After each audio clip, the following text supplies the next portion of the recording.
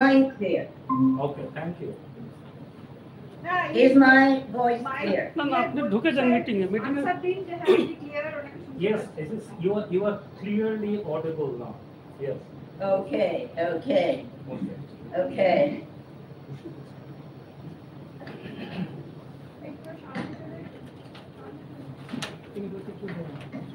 ওটা একটু বড়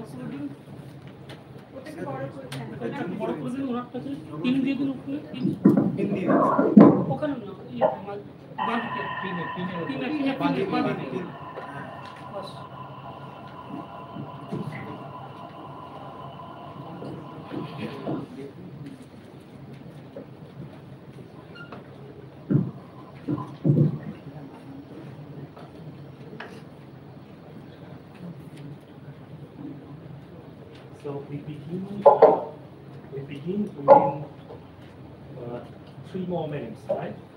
Right, could you hold your mic a little closer? For some reason, you don't sound that clear to me.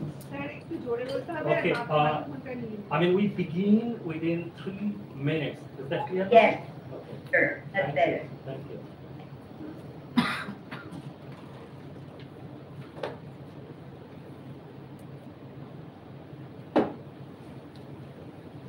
And you expect, uh, is there a question and answer period?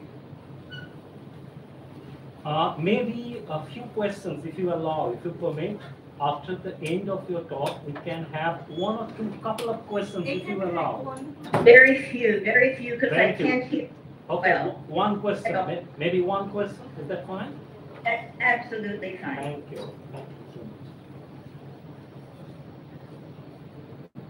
And people can always, I'll tell them, people can always write me. Pardon? People can write to me Yes. People can write. on email. Yes, uh, I think they can write to you, or I, I will type it in the chat box. The question can be typed in the chat box, is that okay? What, it can be what? It can be, uh, we will email the questions if necessary, is that okay? Email is fine. Okay, okay, thank you.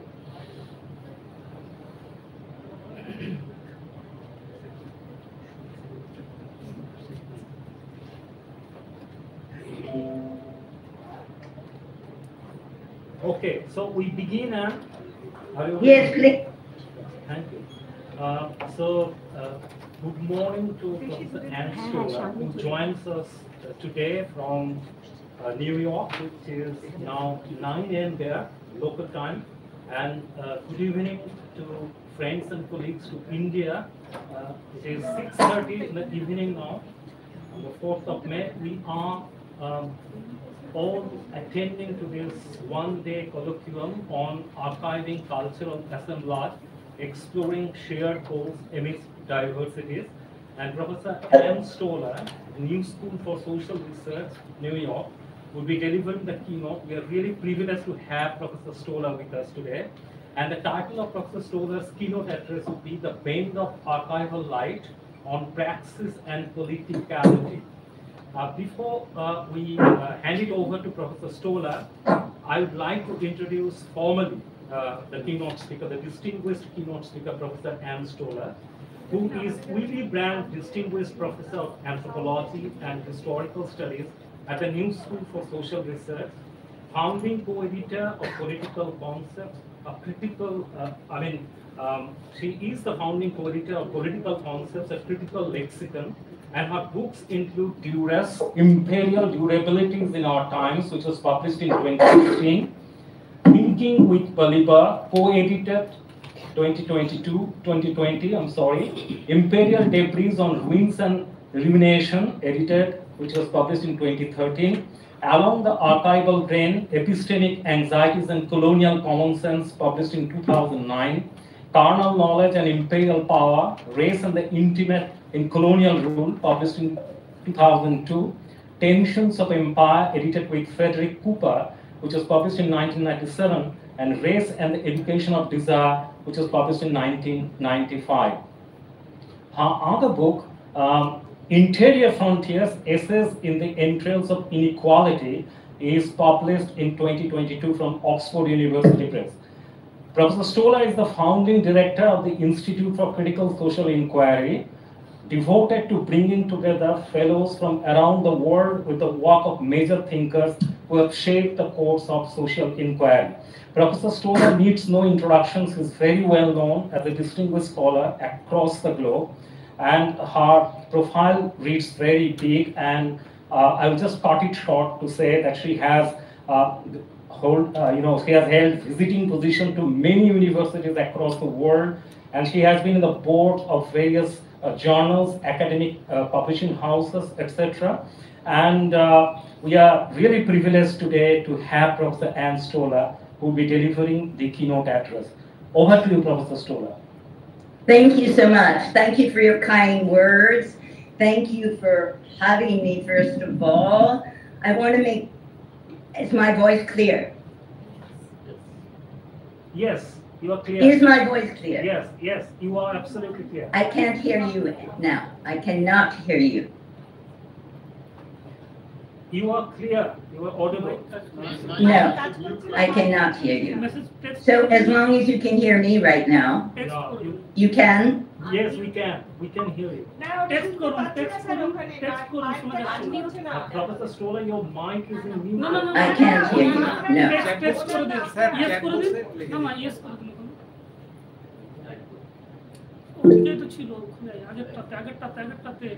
Okay, I will start anyway.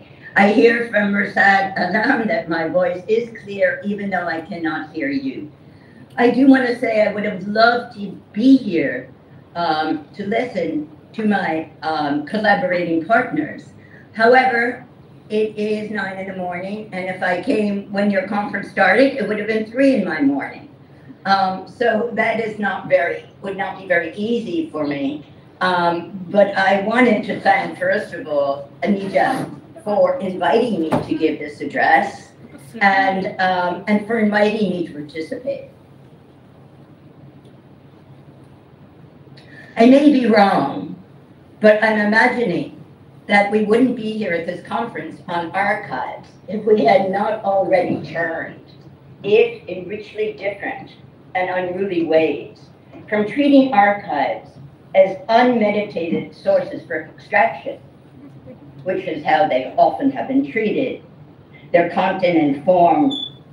Instead, their content and form as subjects of inquiry in their own right. Are you being able to hear me? Please let me know if you can hear. So I won't rehearse these arguments. I won't rehearse these arguments, but instead we'll be talking about what I see as this new bend of archival life to praxis, politicality, and the political traction of archiving. My paper is a bit long. I do not mind if you say we only have five minutes left. I want people to know that I don't have that much time, unfortunately, for the chat to hear questions, but you are more than welcome. Anyone is more than welcome to email me with your questions and we can begin. Often it's hard to think the present. The present is hard to discern.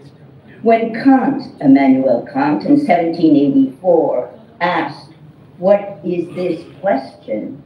It was a bold question in a philosophical field that honored the abstract, timeless, and universal, with ancient Greece as an ahistorical site of veneration. When Foucault seized on Kant's query 200 years later, turning to Kant and Foucault's uncharacteristically plain words and seemingly straightforward questions. So here's another one. What difference does today introduce with respect to yesterday? In doing so, he rendered the question dependent on a challenging requisite by defining the historical moment more specifically and by adding another reflection on an intimately related but oblique plane. The task was demanding to consider an historical ontology of ourselves. So he turns it back to us. The emphasis, as Ian Hacking described it in his own book of the same name, is what is it possible to be or do today? Or posed somewhat differently, is what we thought was once indispensable today not so. The ourselves, the historical ontology, are open, but what was not open was the linchpin unstated. Those relations of power and content defining history. Flashpoints when events showed themselves as breaches of self-evidence, disruptions of what was once considered common sense. Personhoods and histories are refracted with particular intent, focused through those relations of power that bind us so inequitably and feverishly now. Critical to this venture, and I think this is such an important insight, that the we cannot be named in advance.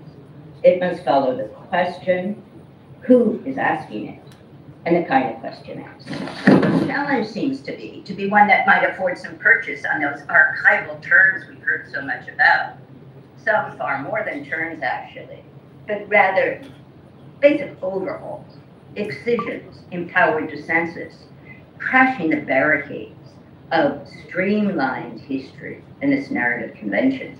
A history of the present is what I'm suggesting may offer a compelling way to look at the various installments of how archives have been treated, what and who they have served, the war zones of conflict and contest, and what constitutes an archive, actually what one is and who and what it's for, and why what seems to be a broader humanity somehow cares about it now. As so many are redefining what they are, the question of a history of the present invites us to ask, who are these new practitioners? They're not just historians trained with PhDs, that's for sure, or archivists. The old and newly installed archons invite us who remain in the shadows, shorn of place. These are collective queries, I think we're asking. Well, the venture itself refuses the teleology that these histories of the archival present had to be this way and no other. There's no search for originary archival past. The vantage point is from the present. It may be a fringe histories, and this is important newly recast from disqualified to qualified ones. That's a term of, of Foucault, but um, in, in homage to Professor Ranajit Guha, who we have just last lost. I think he often think, felt that way too. Is my voice clear for everyone, and am I talking too fast? I guess there's no one there. Okay, well then I won't worry about it elsewhere new and vociferous battles over what should remain consigned as if secrets of the state. These aren't histories of which we're ignorant, innocently ignorant. I think that's important. Some are rather histories demoted, deemed unreliable, and ignored. Some come out of the archival vault, disparage this history as evidence, as knowledge at all. From those, some of us have tended to look away. An historical ontology, ontology could be about you or me, but here it's about our collective selves at this political moment, here and now. It's more about the conditions of possibility, revisions, and failures that make up what this archival field has invested in and what it does today is what I'm worried about. Not least historical ontologies marked and are marked with relations of power. We never can forget that. That disqualifies some kinds of knowledge. Qualify others that in turn harbor and then incite insurrectionary knowledge in the intricacies of their foes. At moments made opportune, belligerent, bellicose, outside bounds of archival ordinance and imperial control. Dispersions rather than origins.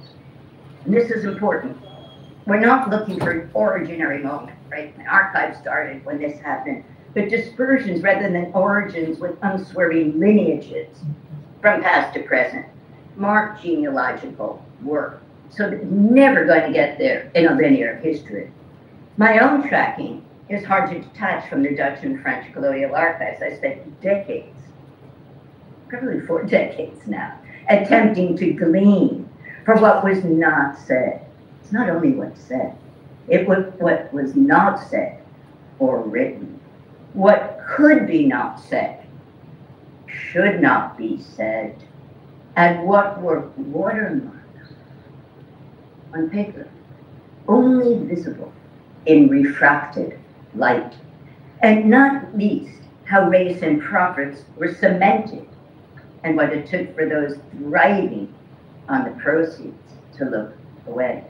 Granted, this is a pretty warped perspective, but there are features of these dispositifs, as Foucault would call them, these kind of mechanisms, right, of imperial formations, hardly confined to the archives of the Dutch colonial state. So we're not really just talking about the Dutch colonial state. Governance of those who governed, as well as those governed, were built on a distribution and attribution of sentiment with enormous import and affective weight that depended on meting out deferred promises. Right? This is what empires always based on. You know, when you develop, you'll get it. When you can do this, you'll get it. When you show us you're you're civilized enough. So those deferred promises then invested in a duress, imposing debt, humiliations that were almost speechless, a heavy inked query on the side of a page. What? What? What? Just across a page, right? Not part of the official, right? Scratched across a crisp, clean, formal archival page, a grammar rule. It was a grammar rule of sorts that kept officials in line who were critical of the imperial archives, but not the privileges in which they worked. And from those who were the recipients of this barrage of disdain was resentment, distilled contempt, and apt rage. The distribution of affect was a register of archival governance inscribed, but it was barely named, and it's for you to attune to it.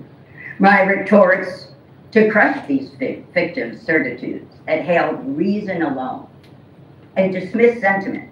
You know, politics is not about sentiment. My retorts were perhaps too harsh in efforts to recast those zones of colonial power other zones of colonial power that were often not acknowledged, that depended on racial rule, and legitimated the slow and preemptive violences of a racial state.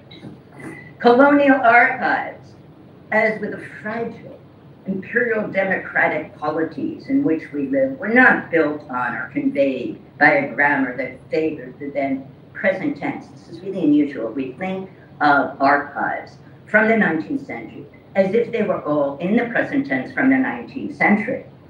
But they were often coded in the conditional what if? What if they turn to terrorists? What if they turn against us? It's the what if. If they do that, we would have to do this. Coded in the conditional and the imagined, subjunctive, and not least in the speculative. Archives of power, corporate power, colonial power, democratic power reveal their haunted imaginaries of those who rule, often framed by this anticipatory fear, a, con- a conjuring of underground challenges to authority. Always that, right? Indian history is full of it, right? South Asian history is full of it. Persons of a certain hue, Dalit, who knows? Tone, comportment are squashed into imaginaries that made sense of the fictions of race and the necessities of an always more elaborate security apparatus. This is where we find the security regimes of empire. And not unlike the post 9 11 creation of Homeland Security and a further embellished security state. These dispositifs are not repetitions of the same. Colonialism today does not look like it did with Queen Victoria. These are not isomorphic, but what I call in my books recursive histories of category making and racialized fears. Some parts durably, durably mark the present. Others disappear in the fold. The word colonial legacy gets us nowhere. It squashes everything together. Recursion, and recursion is turning back, right? Turning back on that fold rather than repetition. Makes room for newly apparent exposures of a past less visible before. That's, that's the goal right? When it folds differently on a paper, you get to see another plane that you didn't see before. Recursion to me is the name of the game, not repetition. Recursion, though, is depth as much an analytic to consider connectivities and partial recuperations of what archives are and do. Archive as concept, archive as things, archive as refusal and political practice. The very term itself, sometimes renewed, sometimes held steady, sometimes bending light onto different archival plans. So what I call archivage, archivage today. So what are the forms and content of archival pursuits today? I like the question, but I'm tentative about the answer. One difference I find striking is how ubiquitous the term is. It doesn't matter where you go. Everybody's doing an archive. It's an archive of architecture. It's an archive of defense. It's an archive of this. Somehow the word archive has been given some kind of power, capacious in its capacity to name collections, installations, gatherings, compilations of video performances, or testimonials, right? But as much so to name political stands and positionality. If this is an arc, our assemblages range over scales of curatorial labor explicitly, and they're explicit outside the police corridors of expertise. Paper and voice replacing a restrictive defining of evidence. As a primary sites of state imaginaries, archives have split off center state. It's interesting, all we looked at for very long was state archives. Storytelling outside, right, subaltern stories, and then, and then, you know, official archives. Credibilities are only loosely secured, though, by the printed page. The notion that archive labor is the privy of historians, initiated by the ritual of going to the archives, right, is an initiation rite. We know it, preserved in some places. Doctoral students always have to go through it. I went to the archives, and they have to list the archive you went to. Elsewhere deemed rather quaint. In any case, digital archives, no matter how problematic, no matter how much is lost of the tactile, has made the going to the archives a different matter. And COVID has done it too. You just can't go. Some of the ubiquity may ride on the favor of, of etymology from the RA combining two principles. Commencement, as we know, and the seat of command. Everybody quotes, you know, Derrida on this, but so many others doing it before he said it. But that's what everybody quotes is archive fever. Ten years after, Nick Dirks, me, Val Daniels, all of us were doing archives, working with them. In fact, I taught a course then, way before Debbie does, um, book archive fever, called Ethnography in the Archives. Um, some of the ubiquity may ride on the favor of this uh, etymology because it is commencement of one moment and the seat of command. The archival rubric assigns and confers that this is the site of authority. Intentional coherence, calling something an archive, rather than just a set of documents, is an announcement of power and work, right? No matter what the media is. And not least a public face, right? I'm gonna put this all over the internet. Have a look. More importantly, I think, is the frequency with which it sets out a political claim. This is crucial.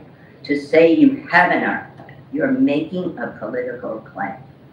That this is what matters to collect, to see, to conserve in this way by these people in this moment for the future and now.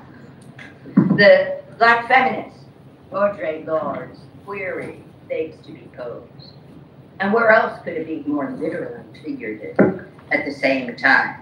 She asks, as some of you will know, can the master's tools dismantle the master's house?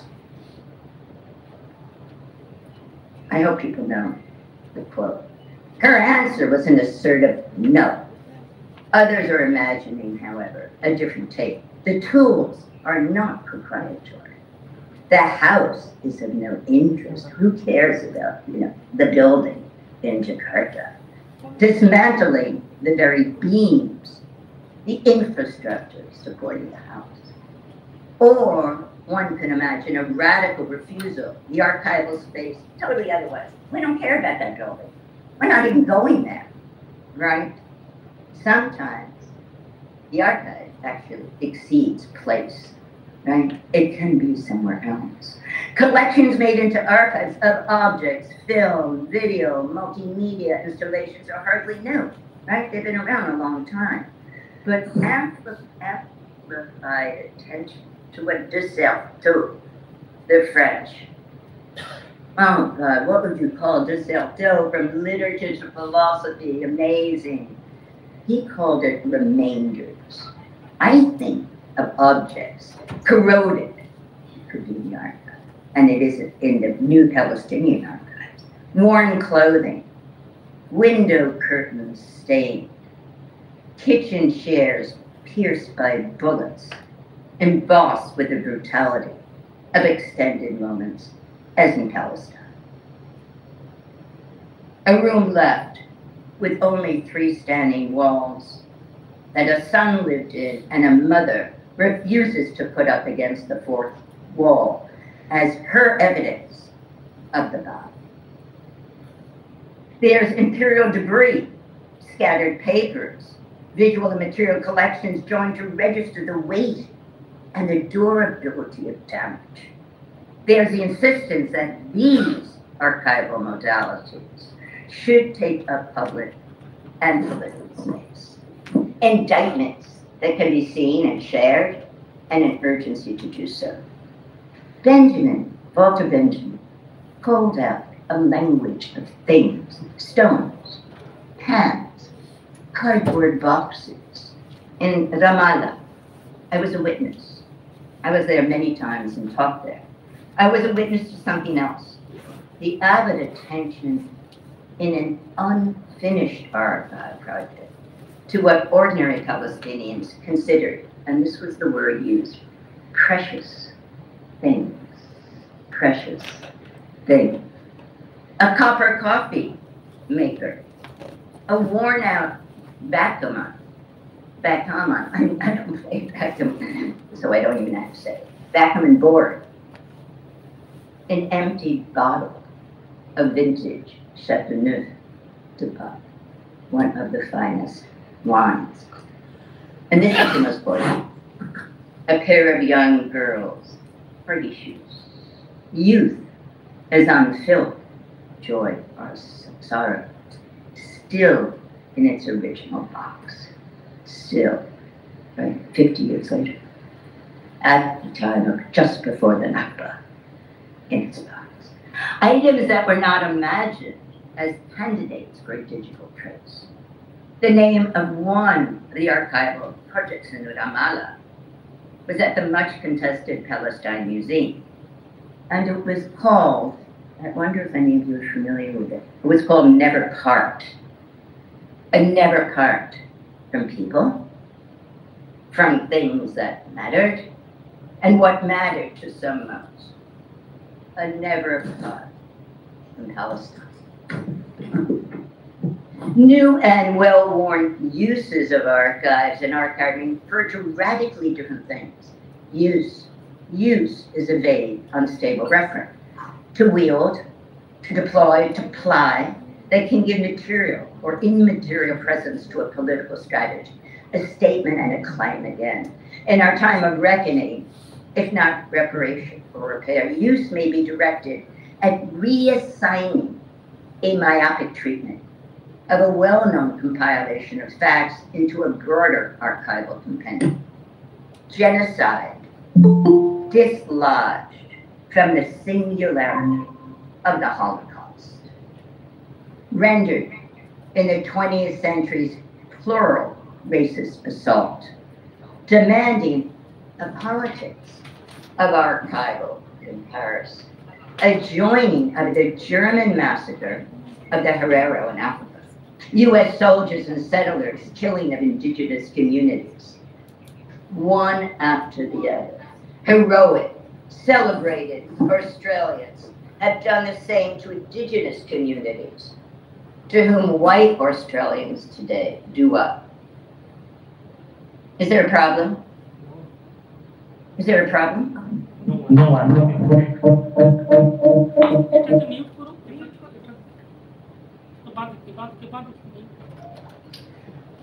White Australians today compile storybooks in a patriotic tribute. Storybooks, think about it. Storybooks to Australia's national shame, as Sara Ahmed reminds us. This last month alone, the battle over German history and politics claimed front page news in the major German press. What it was about was the politics of comparison to Germany's imperial genocides, not just to the Holocaust. A new film made, actually called Germany's Other Genocide.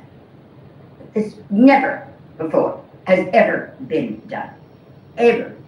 Germany's Other Genocide, bringing colonial archival history center stage.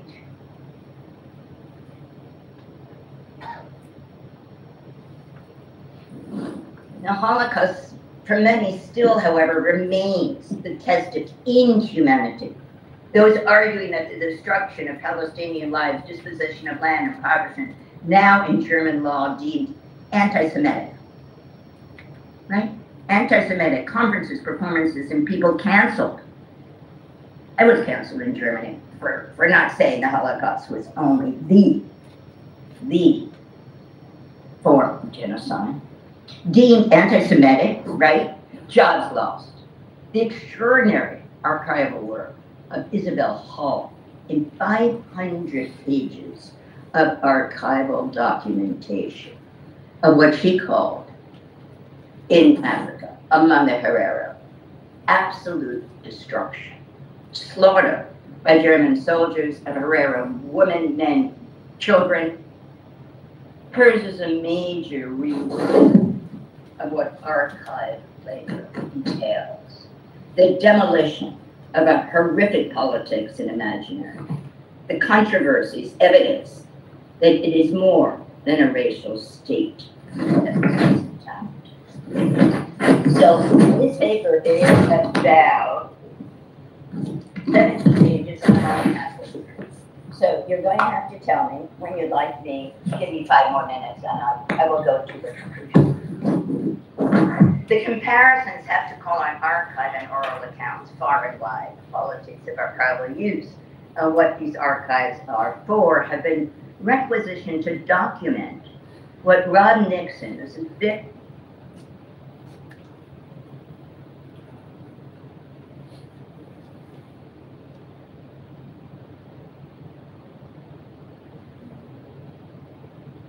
and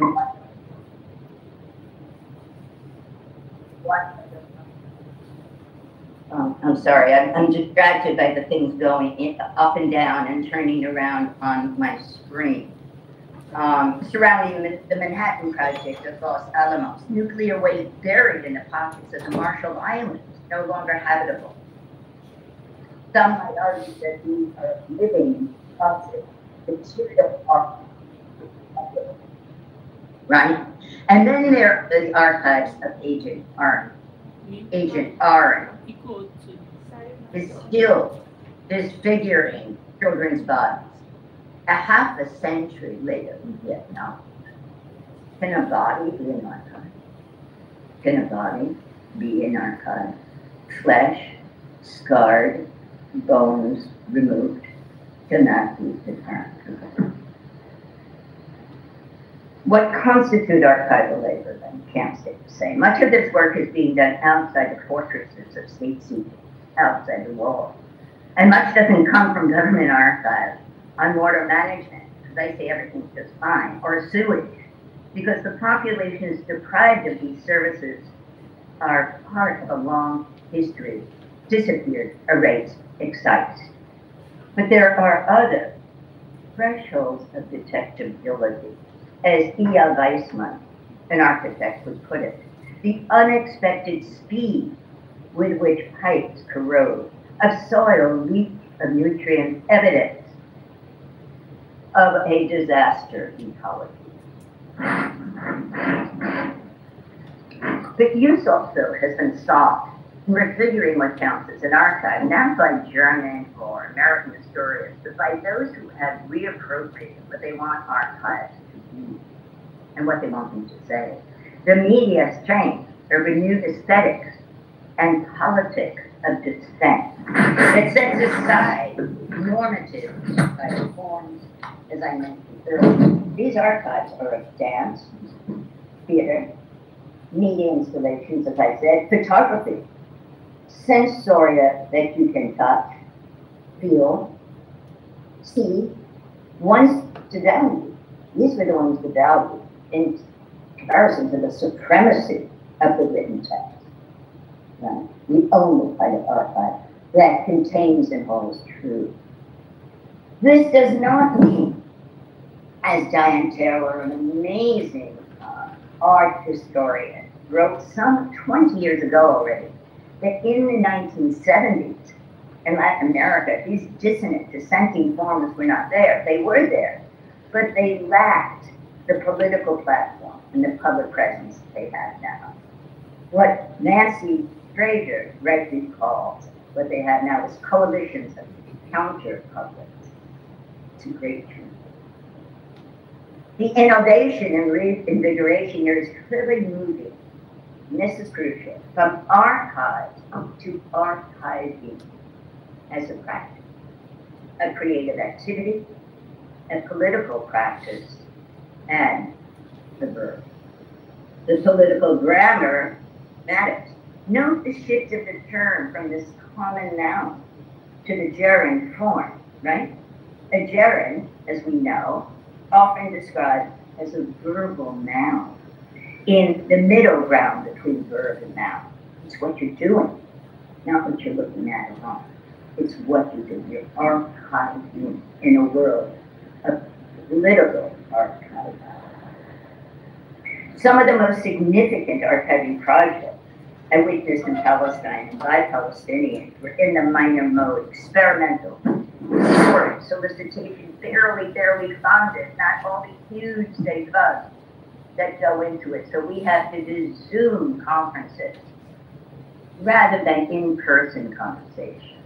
I think this is just such a diminution of education and what it is. It, it, it just arrests pedagogy that I'm up here talking head and I get maybe one or two questions and then you all go home and I go home, you know, and you have a reception and I go back to what I'm doing. That's wrong.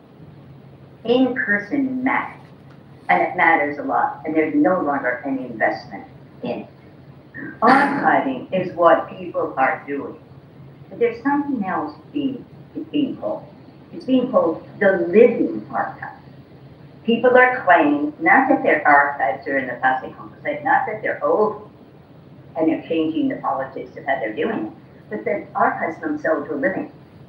That has garnered exceptional cachet. Emphasis, as with archiving, both with processes of making but also on the recruitment of those not necessarily involved in the project. Interesting. Um, directly, contributions constantly being added to change what subject means, what it represents, and where it needs to go. I think that's pretty radical, right? How do you keep that deal going? Well, how does it work? Living archives are not about the past. They're about the present. Calling something a living archive is an invitation. An invitation to young scholars, right? And it's there for them all over the world. Whether in the public domain, local community libraries, in universities where students are invited to contribute to them. The University of California, Irvine has what it calls a living archive, and students can walk by and add to it. How do we do it? 9.30 is, we still have time, right? 50 minutes, I was told need to. By its own definition, I quote, a collection of material presented to a lab for the expression, exhibit, document, and preservation of a sentiment or a movement in a particular community. Focus on the documentation and expression of the sentiment is worth noting. I mean, how do you show a sentiment? Right? How do you do that? It's hard to imagine the criteria. The three parts of the project first, they have historical narrative, as if that's not sense. Then current reflection, and then real time feedback. And I don't know, I'm not yet convinced. Or we might look on, on, uh, in, in, on the web at livingarchive.org, which describes itself as a learning diaspora place to document, archive, pass on knowledge from and for the BIPOC community, right? So this is everyone, right? That is those who are colonized, those who are LGBT, who are gay, those who are disabled. It's just been folded into a whole. This is huge what's going on with this. Elsewhere, the Living Archive is a book documentation of a project that aims, as stated on its cover, to publish and preserve film history with an artistic and curatorial practice of present. You see how often this word present keeps coming in, right? Again, the political grammar of our has shifted to the present participle. My own closely witnessing of some of the innovations since from the time during COVID, I spent working with, interviewing, and thinking with those in Palestine who have made up the practitioners of what I'm calling archival surge. And I can send the piece that this is part of in Critical Inquiry. I'll just send it to you, but it's also in my book, Interior Frontiers. Let me just briefly tell you a little about them, okay? They're diverse in medium, in scale, deeply political, emphatically anti-colonial, bold in their methods, archiving rather than working in the archive or on them, redefines the terms of engagement. Instead of expending energy on countering authoritative inscriptions of, for instance, the Israeli state, or the British colonial state, or the Dutch colonial state, and its occupation, archiving seems to be offered an imaginative rethinking of political class. The whole thing is not geared towards the state until we have evidence. That's a different measure. We've all been doing this for over 30 years. Right? Uh, the challenge is directed at what constitutes challenge, and this is the conversation. Custodial control. Who's that guardian? Who has access?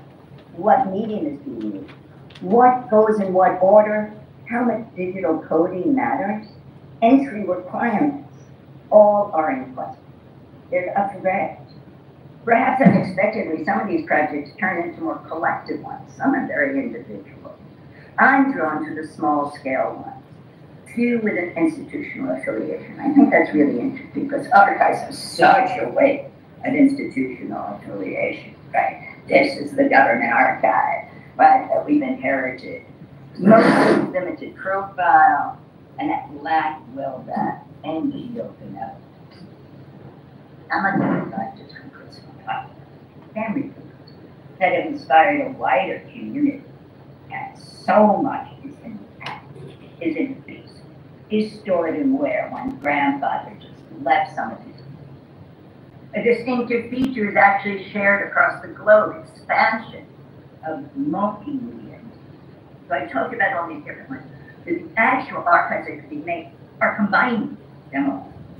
It's perhaps ironic for those who have been working with archives for some time assume that the archives were once finished products, are movable, once deposited, categorized in one place, way. The notion that these are not living archives, the sense that so many people can still go on and contribute to them, it doesn't suggest that the ones in the vault are dead. Right? We might look at Matthew Connelly's 10-year project arguing that Trump's sequestered documents at Mar, at Mar-Lago was not an exception. Everyone's made such a fuss because Trump is so awful, right? He's a thief in every way, um, and racist. But basic, the democratic state practice governments intentionally severed from its public and citizenry, an ex- exploration of state archives, strewn across private desks, shared selectively with the selective members of the press, and most importantly for Connelly, questioning altogether what a democracy of the present is. It's a democracy. Is this really democracy? One might ask question. He reminds us that the trash, shredded, ripped up, Trump did all of that, right? Is a staggering as what is there. And he writes, in his column, he calls it the declassification engine. The State Department is constantly using government, listen to this, a logarithm, to assign foreign policy documents for deletion. Delete it. It doesn't. Has a, a logarithm. We could just stop right there. What kind of He holds that this could mean, is right, what's left will be dry, junk, absolute junk. Because it won't any. Then, in a very literal sense, the end of history as we know. Still, the political project since 1985 of the National Security Archives is to make open 85,000 government documents. It's funded by 35 organizations with researchers literally anywhere, online, all over the. And it's become what's called a torture archive. You gotta look online for that too. A culling of those documents relating to US policy, and this is not by the government. Okay, this is by those against it. The policy and practices of detention, interrogation, waterboarding, torture during the so-called war. Digital open access. That's also problematic. But important work is being done outside those quarters. Think Kirsten Weld's wonderful Chile excavation in an abandoned building filled with a crumbling stack of murderous state archives, buried, literally buried in the torture chamber of the dictatorship of Guatemala. Still, again, this is used in different forms, some in less dark forms, some in liberal mode, endorsing, the demanding. As in Black studies, Native American studies, colonial studies, Grover conceived, are a newly arranged composite of people and things. Who doesn't love the Saidiya Hartman fabulating configuration of young black women as champions of liberty? Had of them as the oppressed and his victims. No, Saidiya Hartman saying no, they love to dance in the streets when no one was watching. Jenny Sharpe traces her Caribbean literary and visual artist. I love it, that's where I got my title. Then the categories of archival knowledge. Then the categories themselves. And Ariella Azoulay, a anti-colonial Israeli who doesn't like to think of herself as Israeli, and now is at Brown University, insists that we make new contracts. We need new contracts. right, between archival practice and its citizenry. Vernacular idioms are sought from those reluctant to share their own duress or believe of insufficient pertinence. Lots of people in villages all over with it. No, I, I don't really have a story to tell. No, no, no, I, I don't have anything. I'm not important, right? And I don't speak well enough. Frames are sought to enable to enable unrecognized connections to regather what has gone astray. These labors promise to make room for the unforeseen. Is to let's say, bits and pieces. I call it a debris. Or the ignat that, that, that which touches you, right? Of a period. The macabre, dark joke that plays off those in power in the vernacular that those in power probably can't understand. Jacques Rancière's iconic formulation of politics makes visible that which has no reason to be seen. Great. Right? It makes visible what has no reason to be seen. That's praxis. Some of the modest collections began as efforts that I saw in Palestine this, this young man, Manisher Tarazi, born in a Christian family in Gaza, basically sidelined his day job in 2013 to begin documenting his family's history that grew to include a large spread of Christian Palestinians. Helen Kazan worked through a collection of archival photographs taken by her father on the eve of the family's flight from the Lebanese Civil War. Right? She made a short film that reconstructs and reactivates, as she put it, the spatialized nature of warfare to a film with its vague images of her own disappeared home, to which her parents cannot return ever. She's not after proof. I mean, we are always after proof, weren't we, when we looked at what the state did? And then we felt we did enough. But she wants to make legible the limited frame of accountability. This is one of my favorites. I'm still in touch with it a lot. And it gives me 10 minutes. Consider Fadi Asli. While studying Palestinian history at the Hebrew University, he just got his PhD, he was fascinated with what was and was not in accounts documented about Palestine. So in 2016, he began a venture about what he had long fantasized a construction of a material digital archive built by Palestinian villagers and cities. Starting with his own family's ephemera, he spread out to families around, and then across the Arab world. He calls the project Hazak, described as a voluntary independent association committed to people's stories, brochures, theater stuff, and. I'm going to skip over because we don't have enough time. To date, he has 30,000 visitors have perused his website. Everybody has their own uh, archive that only some people can they, they can give permission to see some of the materials and not the others. He says his aim is to instill a new archive awareness. Here's what he's really after, he says, is for a younger generation understand what political policies, possibilities, and alliances that are archive so here's the conclusion. Very short. Five minutes.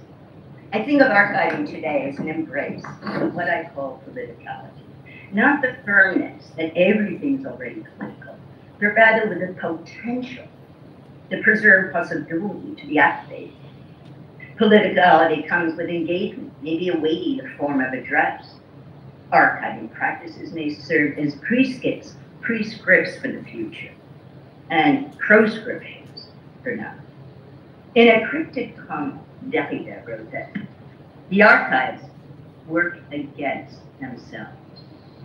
We could just stop there too. Note that his archive is in the singular.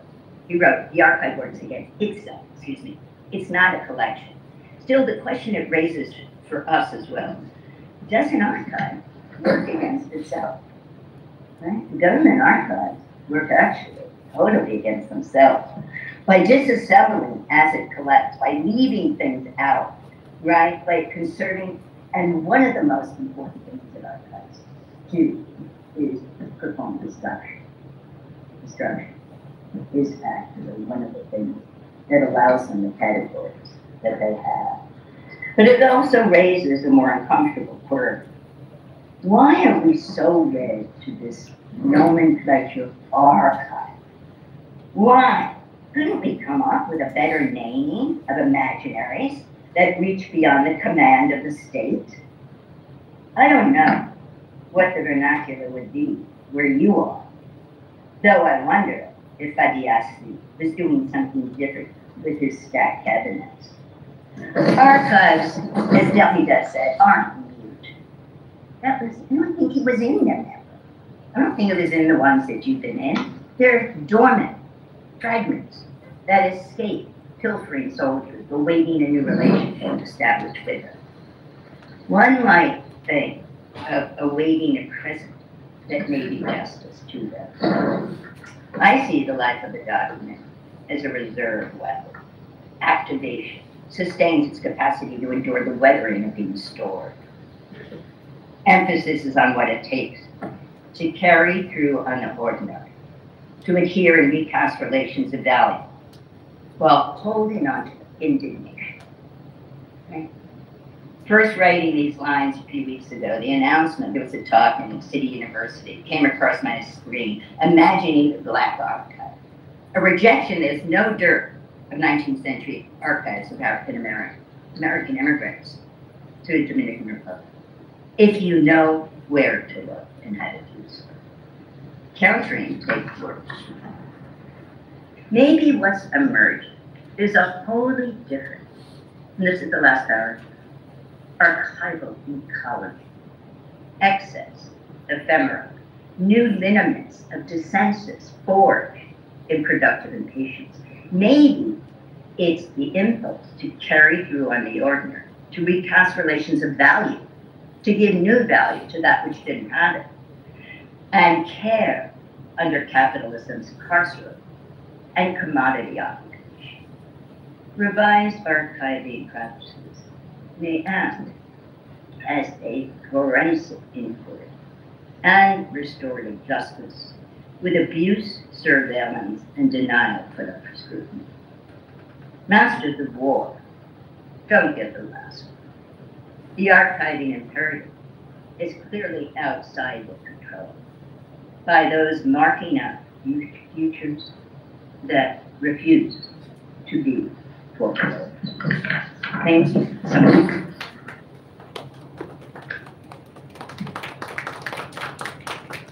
Thank you so much. Uh, and can you get my voice now? Yes, Thank you. And, and apologies for the audio problem in the beginning. But we could we could hear you out completely. We could, you were loud and clear throughout your Uh, speech. Okay, because it, it seemed like you were losing me. There were three people there. You were looking, I was, I didn't know what was going on. yeah, sorry, sorry for that. No, that's okay, that's okay. I mean, you know, Zoom is not always reliable at all. Thank you. Thank you so much for the insightful keynote address. And uh, I know that you have another engagement. Uh, so, uh, I mean, if we send uh, some questions through the email, does it work for you? Absolutely. And if someone wants right now to ask a question, please, I, I still have time. Okay. So, uh, I definitely have time at least to ten ten, okay, to ten after ten, and that's, Okay, so I mean, uh, then I take the opportunity to ask this question, which is Mhm. which is related to your book uh, against the archival grain, where you talked about um, this distinction between archive as a process as opposed to archive as a thing. Uh, mm, Yes, so I think that for me and the kind of uh, archival research that we are pursuing here, uh, we would be very much uh, eager to know how do you uh, look at it from today's perspective? I mean, in this context, do you go by that distinction even today? I mean, would you like to explain that further? I mean, how do you see this distinction in today's context? Archive? well, I think, yeah, it's a great question, and I think both matter in different ways, but the archive is not stable. It is no longer the same. right, in the present, but archiving as process brings in the agency of those of the present.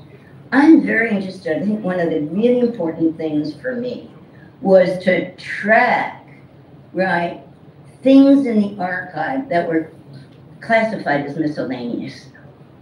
I love things that are miscellaneous. Why don't they fit the colonial categories?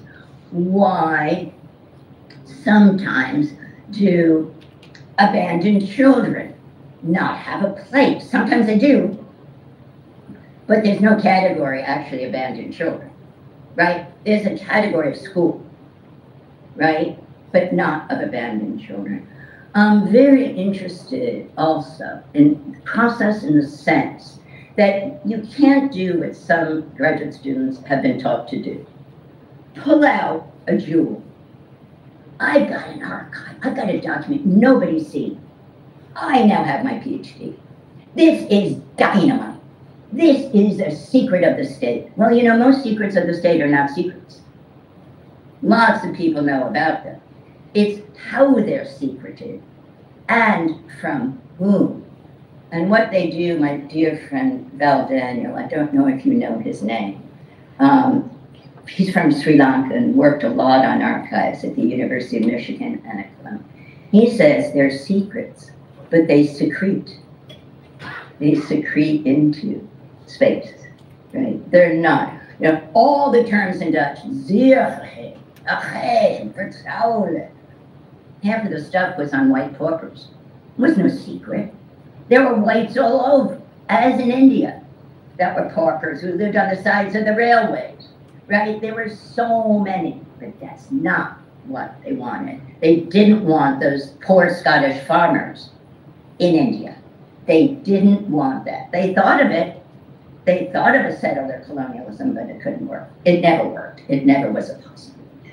So process is to reach outside the archive as well, to question what goes for common sense. For me, that's not a document. That is a whole process of construction of what goes for common sense and need not be said in the archive, but is not allowed to be said. That's part of process to me. Thank you. Uh, uh, another question uh, relates to this one, which is uh, one of the earlier speakers today talked about the politics of the archive, which you have talked in detail in your book. Uh, he also mentioned about the hierarchies of archiving. I mean, Oh, yes. yes. So situated in the global hmm. south, when we talk about the archive, we understand that there are archives which are being digitized, which are prioritized, privileged in that sense, whereas vast Exactly. amount of, yes, vast amount of archives in the global south, in Africa, in Asia, maybe in Latin American context, are not um, accessible either, or they're not afraid. digitized. Yes. So your take on that, and how do you like? you- Oh, my take in that is when I say archives are part of the technology of rule and the distribution of archives is about the construction of inequality. Inequality in the politics of knowledge about colonialism, empire, but about the present and what endures. When I say in my book, duress, right? imperial durabilities in our time. You can map that out. You can map it out very easily. I mean, a lot of stuff that was taken by the Dutch, it's incredible how much they took. By the Brits, by, you know, Native Americans have never even gotten close to most of the archives on that, on genocide. Not even, of course, it was never called genocide. It was called Manifest Destiny for Whites to go forward, right? The categories, the concepts. One of the most important things to me in my work, and always has been, is what I call concept work. Concept work is, I must emphasize that for students, is not theory. It's not theory with a capital T. Oh, I gotta get the theory right. I gotta get this of, you know, of Guattari and of Ranajit, and I gotta get this of this person, of Jeffrey. That's not. That's not concept work. Concept work is when you pull apart those pieces that hide so much of the power relations within them, that assume that those are the categories in which you could work. You have to stretch them out, see what's inside. What is it Nietzsche said? There is no category of concepts that does not depend on putting together unequal things. On, is that brilliant? There's no concept that does not depend on putting together unequal things. Can you get at those? How do we read both along the grain of what they're doing, not just against the grain for the subaltern voice? The subaltern can't speak. I'm sorry, Gayatri, you know? It's, there are other ways to speak. Don't quote me on that. She's a friend. But, you know, that was another moment. That was another moment when she needed, and she was right to have to write that then. That's 30 years ago. Right? We're in a different moment now. Thank you so much. Now, uh, Brian Massumi uh, talked about the idea of the anarchive. I'm sure that you. Wait, who, who? Uh, Brian Massumi. I'm talking about the process philosophy. Oh, Brian Massumi? Yes, he talked. He talked about the idea of the anarchive, and you mentioned about the archive as the epistemic space, uh, acting as the decolonial episteme. I mean, we can use the archive as the decolonial tool. I mean, I remember uh, walking the Du Bois archive at UMass. I could see that the boxes which uh, contain the papers of Du Bois are like virtually incendiary boxes. They, they, they contain wonderful insights on decolonization to counter the predominant uh, you know, narratives that we have. So, Mhm. how do you look at the archive as the anarchive? I, I'd very much like to hear from you. Well, what do you think? What do you think is possible? I've spoken for an hour and 20 minutes. What, why is that question of interest in more than we've discussed? I don't, I don't use the term decolonial. I don't believe in it. Half the people who use especially in the US and in France and in Germany and in Australia, are many people who have never even studied or know what colonialism is. But everything is decoloniality now. Everything. Let's decolonize, decolonize a grocery store. So decoloniality is, is for me, it's a subterfuge in a way for almost not even knowing. But it's an umbrella. It's a proxy for so much else. But when I talk about these other kinds of archiving ventures, I mean, that is, and that doesn't even, that subordinates even the notion of an archive. For me, that is the answer. It is not, it's not saying, as, and I pointed that out, as so many people do, this is an archive of the decolonial. Well, you're stuck, right? You've already kind of gotten yourself caught because you're trying to get authority in a way from where the command was. And now you're doing something else that classifies and categorizes in another way.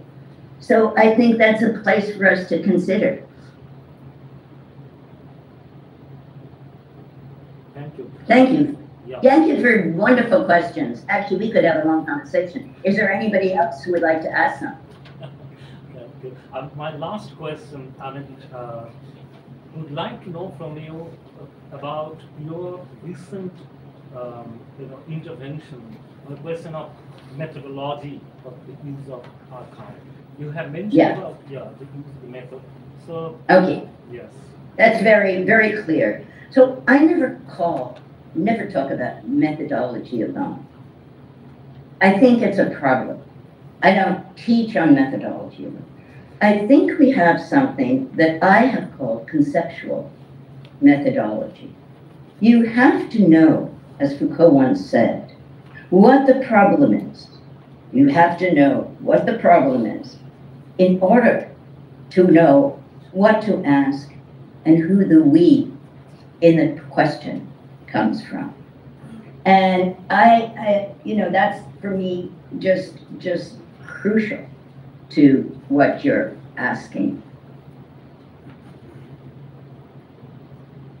Methodology has to come from what you are imagining and how wrong you can be.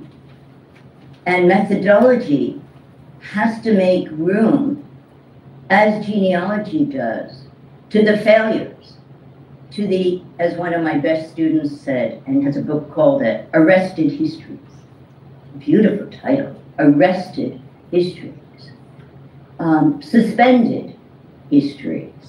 The method cannot be what's there alone. It has to come conceptually about how you know about what gets concealed. That's the methodology alone just can't get there. You have to have a conceptual vocabulary, a conceptual grammar that allows you to move outside of what is there, why it's not there. But you can't just say it's not there because it was erased. That doesn't give you an answer. It's because it may not fit common sense. It's because it's too dangerous and it goes against common sense because nobody cares about it at all, in quotes. So for me, conceptual methodology is part of the concept work, which is not theory. It's working on what Wittgenstein called the rough ground, not the high ground, but the rough ground. That's it. I mean, it's detailed. It's absolutely detailed. Gaston Bachelard has a, he says his goal was to write an epistemology of detail. Wow, what is that, right? But when I talk about epistemology, and this is my last comment, um, I think we've caught epistemology as something about reason, right? Your theory of what's reasonable. I think what we've missed is how much there's an epistemology of affect, right? That affect is a way of knowing, that it is Sophia, as the Greeks called it. It is not not knowing. It is always, we all look at all philosophy, classical philosophy, all of it, right? Though Aristotle said something really interesting about anger. He said it's undeserved diminishment, right? It's undeserved. And that's political, right? That's a judgment. I mean, for Aristotle, affect was judgment, sentiment was judgment. It wasn't only judgment and reason, as the colonial state did. They got caught by it because they didn't understand this, this politics of sentiment. So that's what I mean by epistemology, is breaking through that. Professor Stoler, thank you so much for the engaging uh, keynote address. And uh, we hope that this conversation will continue. And if we have questions, then we'll certainly email that to you. And on behalf of everyone present here, I express our collective thanks and gratitude to you for taking time out for such an engaging and insightful. Thank you. Thank you so much. But please, one more thing. Please don't think I'm not going to answer because I can't do it this week. I am leaving for um, Vienna. I'm traveling. So it's not, if I don't answer, don't think, oh, she, you know, she just said that and she isn't going to answer. I will. I will. Thank you. Thank you so much for having me. Yeah. Thank you so much. Goodbye. Bye bye.